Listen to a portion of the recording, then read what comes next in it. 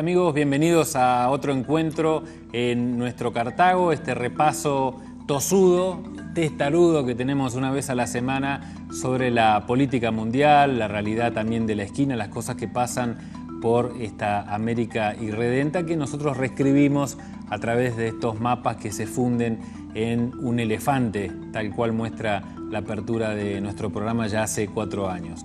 Y hay un tema que eh, siempre nos atraviesa y que tiene que ver también con uno de los motivos que incluso eh, solventan la idea de eh, estar en, un medio tan masivo como es la, televisión, que es dar a conocer entre tantas injusticias y verdades silenciadas, eh, uno de los temas tabú de la prensa mundial y obviamente eh, podríamos decir de la justicia, porque estamos hablando también de una cuestión de jurisprudencia.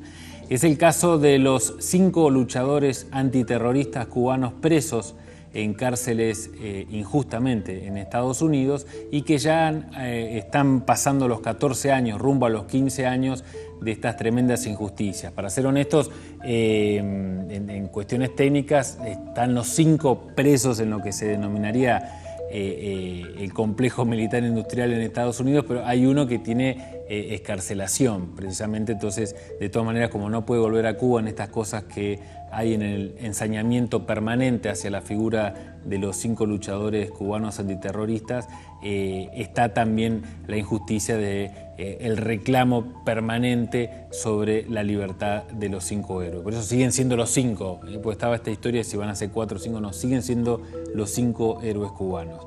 Y hay una epopeya que tiene como protagonistas a tres jóvenes latinoamericanos, tres médicos graduados en la Escuela Latinoamericana de Medicina, que tiene precisamente una similitud y un espejo en la mirada eh, de un joven Ernesto Guevara que recorrió en moto el continente y por otro lado también la solidaridad desmedida de estos tres jóvenes médicos que han salido desde Venezuela y han recorrido precisamente 23.000 kilómetros hasta finalizar eh, el Sembrando Caminos por los Cinco, nada menos que en Neuquén, cuando terminaron este, podríamos decir simbólicamente, porque esto continúa hasta que los cinco vuelvan a sus casas, obviamente, pero simbólicamente terminaron en la pastera. Nosotros los agarramos en ese camino y los invitamos, eh, cuando los vimos ahí en la ruta 22, le dijimos bájense a hablar un ratito a Cartago. Así que bueno, gracias por venir Darío, eh, gracias por venir este, Juan. Muchas gracias. Tendríamos que arrancar un poco con la historia de ustedes, ¿no? Bueno, vos Darío sos de Allen. Sí, sí, bueno, soy de acá cercano. Eh, y Juan de, Bolivia, ¿no? Forma, ahora en el otro bloque lo vamos a traer a, Milko. Contanos un poco tu historia, eh, Darío, ¿cómo llegas a, Cuba? ¿Cómo surge esta posibilidad de ir a, recibirse en la Escuela Latinoamericana de Medicina? Bueno, en el, en el año 2003, este, a través de lo que es, bueno, eh, se conocía como Casa de Amistad Argentino-Cubana de, General Roca o Fisque Menuco, es que surge la posibilidad bueno, de una beca este, integral para poder ir a estudiar a, Cuba. Y bueno, eh, tuve la, posibilidad bueno, de, estar seleccionado para, para, poder ir a estudiar a Cuba ¿no? en el año 2003. En el 2003. Sí. ¿Y en el caso tuyo, Juan? El mismo año, sí, sí, los cinco que estamos parte del proyecto Sembrando Camino con los cinco, eh, fuimos en la misma generación, de 2003 y nos graduamos en el 2009. ¿Y cómo surgió la posibilidad de ir a estudiar a Cuba? ¿De, dónde viene? ¿De dónde sos? Bueno, yo soy del Departamento de La Paz y allí hay un, como es la sede como tal de, de gobierno, eh, hay una institución que se llama SNAP, es por medio de ese centro es que uno accedió, ¿no? De alguna otra forma, porque, claro, como Darío lo decía, hay varias formas de cómo acceder a las becas, a veces a cuestiones políticas, hay cuestiones también de algunos sindicatos, algunos en otros países hay por cuestiones de casa de amistad o casa de solidaridad, y en el caso mío no, hasta el momento no se maneja por casa de amistad, simplemente por parte del gobierno. 2003, eh, la llegada a La Habana, y contanos esas impresiones, porque estuvieron seis años, digamos, ya son casi cubanos por adopción. Y bueno, no, realmente este, la, partida hacia Cuba y la llegada, este, bueno, fue algo bastante impactante, ¿no? Porque este, conocer una realidad muy, este, muy distinta a la nuestra, y, ver bueno, que había mucha solidaridad este, de, ese pueblo al recibirnos y, bueno, brindarnos esa posibilidad de estudiar. ¿no? Así que bueno, fue un cambio bastante importante y bueno, en lo, que fue esos años de carrera, bueno, aprendimos mucho del pueblo cubano, de su realidad y bueno, y de su compromiso bueno, en, construir día a día lo que, ha estado construyendo hace más de 54 años. Así que realmente bueno, este, fue muy, muy linda la experiencia en Cuba. El, eh, ¿Se gradúan entonces? ¿En qué año, Juan? En el 2009. El 2009. ¿Y ahí el día después qué hicieron? El día después eh, fuimos a Venezuela. En septiembre nos trasladamos a Venezuela para pertenecer a un grupo como tal de médicos que se llama Batallón 51. Un proyecto que ya fue desde hace mucho tiempo, creado con la primera generación. Sería en el 2005 que se creó esto. Ajá con una generación de 51 médicos venezolanos, con una relación de un proyecto del compañero Hugo Chávez, para ser eh, médicos que vayan a lugares de difícil acceso, como en la selva, todo, ¿no? Con recursos, claro, del Estado. Y bueno, posteriormente se fueron acotando ya ahí eh, médicos de otras nacionalidades, claro, del mismo proyecto de LAM, pero de otras nacionalidades. Y nosotros fuimos para allá, entonces estuvimos trabajando en el estado de Amazonas tres años, casi tres años, ¿no? Posteriormente para hacer el viaje. Antes decirle ¿no? que parte del grupo también nos faltan dos compañeros que no están acá. Ajá. Es eh, Laura Machín, que está en Allen en este momento, y, Nicolás Bravo. ¿Nicolás Bravo también es argentino? Eh, es argentino, es de Salta.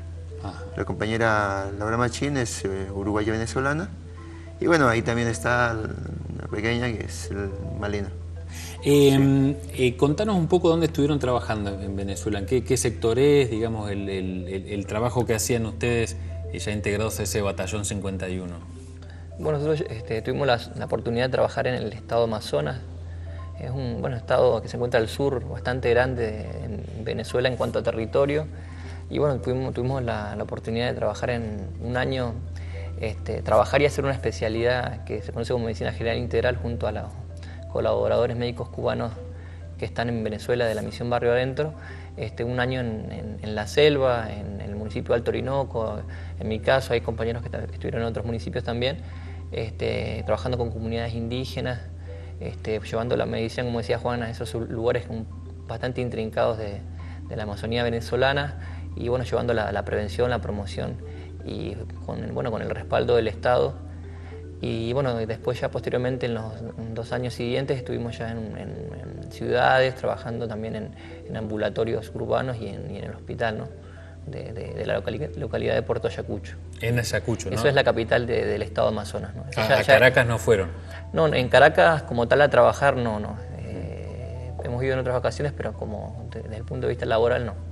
Juan, ¿y qué impresiones tenés de, ese trabajo que hacían ahí con las comunidades apartadas obviamente de los centros urbanos y indudablemente abandonadas por el Estado hasta la llegada de, la Revolución Bolivariana? Primero, uno en Cuba aprende ciertas cosas que no podría aprender en otros países, ¿no? Lo que es la medicina más humana, la medicina eh, que se llega con tanta sensibilidad de parte del médico, que aparte del médico esté en el lugar donde que está la población, que sepa las necesidades sentidas de la población, que viva con la población, para poder eh, promover y prevenir las enfermedades y aprovechar todos los recursos. En Venezuela también está eh, ese sistema, ¿no?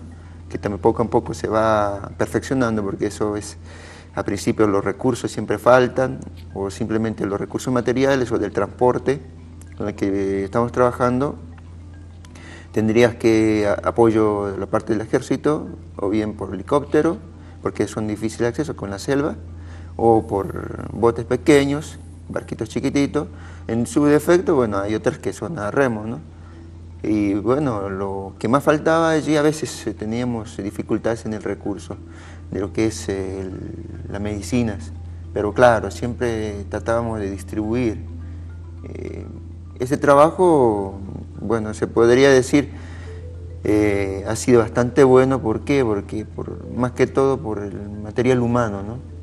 Porque el material humano, la gente, los médicos que estaban trabajando por allá, dieron de todo ellos para poder aguantar allá. A veces eh, sin comida, tiene que inventarse alguna comida o por parte de los indígenas, compartir con ellos, ¿no?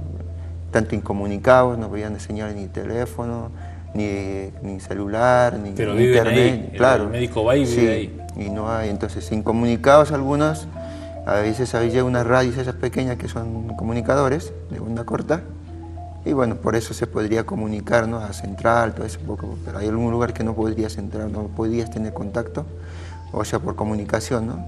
Estabas metido en la selva, a veces tenías que caminar en la selva y encontrás a las comunidades que son, algunos son, la gran mayoría nómadas, en sí, en la Porta de Ayacucho, digo, el Estado Amazonas tiene varias etnias, son, son como 21 etnias que, con diferentes dialectos, ¿no? Cada uno, y donde que estábamos trabajando mayormente estábamos en, en la Esmeralda, más arriba, eh, que es Alto Orinoco.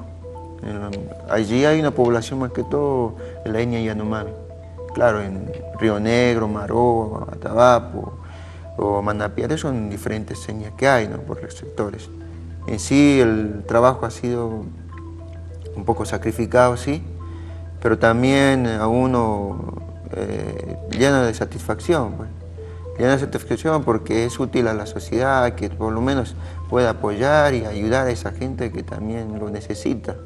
Pero el médico, claro, a nosotros nos impacta la idea siempre de los que estamos en sociedades este, altamente consumistas y en donde generalmente la salud tiene mucho que ver con una escala social, digamos, ¿no? No, ser dentista o ser anestesista o ser cirujano implica un, un- un pasar económico eh, muy alejado de las necesidades, claro, enterarnos de la eh, situación específica de un médico viviendo precisamente o en una villa miseria o en una comunidad indígena, este, pero llevando ahí e, e intercambiando, ¿no? Otra concepción de la medicina. Eh, estamos con los Sembrando Caminos por los Cinco Héroes. Vamos a ir rápidamente un corte y seguimos acá en este canal con más Cartago.